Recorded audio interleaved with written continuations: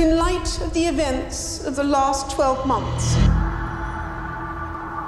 perhaps I have more to reflect on than most.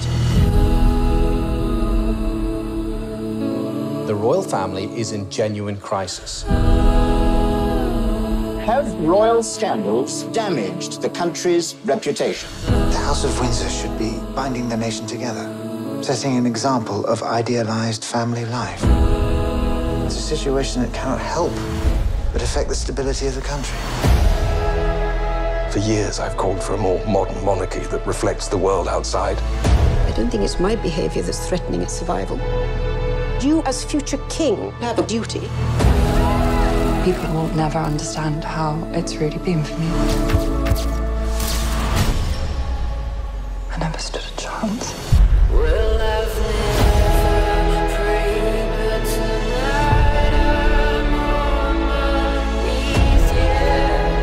She's at breaking point because of the way she feels she's been treated. They see her as a threat.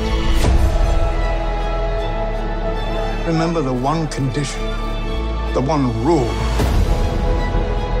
You remain loyal to this family. Who is silent? Yes, it's a system. For better or for worse. We're all stuck in it. It feels it's all about to erupt. She opens her mouth and hand grenades come out. She wants to tear down the temple. Let's go for it. What the hell is she doing? I won't go quietly. I'll battle till the end.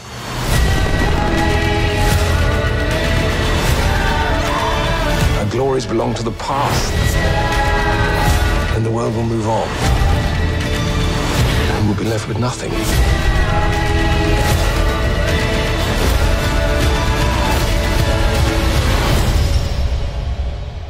Did it come to this?